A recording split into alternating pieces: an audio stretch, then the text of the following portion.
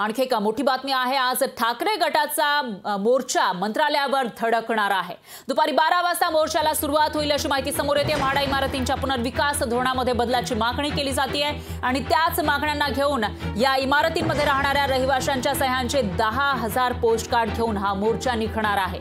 अजय चौधरी यांच्या नेतृत्वाखाली हा मोर्चा निघेल आणि तो मोर्चा मंत्रालयावर धडकणार असल्याची माहिती समोर येते आजची ही सगळ्यात मोठी आणि महत्वाची बातमी म्हणावी लागेल. ठाकरे गट आक्रमक झाल्याचं पाहिजे पाहायला मिळते म्हाडा इमारतींच्या पुनर्विकासावरून आणि या पुनर्विकासाचं जे धोरण आहे त्यामध्ये बदल करण्याची मागणी केली जाते.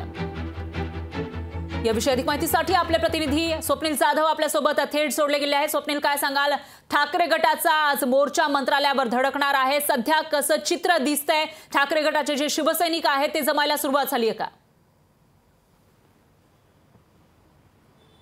ठाकरे गट पुन्हा आक्रमक झालेला दिसतोय फरा कारण म्हाडा पुनर्विकास धोरण आहे त्याच्यामध्ये बदल करण्याची ठाकरे गटाची मागणी आहे. आमदार अजय चौधरी यांच्या नेतृत्वामध्ये मोर्चा हा मंत्रालयावरती धडकणारे बारा वाजता हा मोर्चा आहे तो मंत्रालय धडकेल. एकूणच ठाकरे गटाची जी मागणी आहे की जी पुनर्विकास धोरणमध्ये बदल करण्यात यावा कारण जुना पुनर्विकास धोरण आहे. जरी म्हाडा प्रकल्पांना गती मिळाली असली तरी कमी एफ एस आयमुळे अनेक प्रकल्प हे अद्यापही पूर्णत्वास गेले नाहीत कारण विकासक त्यामध्ये हात घालण्यास तयार नाही त्यामुळे जे एफ एस आहे तो वाढीव मिळावा यासाठी ठाकरे गटाचं आंदोलन असणार आहे यामध्ये ठाकरे गटाला यश मिळतं का? हे पाहणं महत्वाचं ठरणार आहे. अनेक पदाधिकारी असतील शाखा प्रमुख असतील कार्यकर्ते असतील ठाकरे गटाचे हे मंत्रालयावरती बारा वाजता धडकतील. एकूणच यामध्ये दहा हजार पोस्ट कार्ड हे सुद्धा या ठिकाणी मंत्रालयात देण्यात येणार आहेत. यामध्ये नक्कीच म्हाडा पुनर्विकास धोरणात बदल होतो का? हे पाहणं महत्वाचं ठरणार आहे. फरा.